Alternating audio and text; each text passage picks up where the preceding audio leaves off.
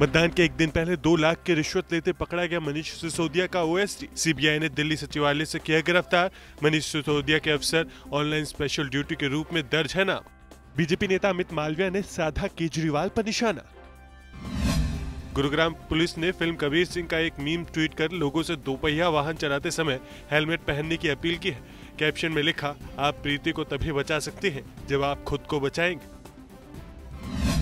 उत्तराखंड के उधम सिंह नगर में हत्या का एक आरोपी राज्य पुलिस में 19 साल से सेवा दे रहा था। सिपाही को जब उत्तर प्रदेश के बरेली की एक अदालत ने उम्र कैद की सजा सुनाई, तब मामले का खुलासा हुआ।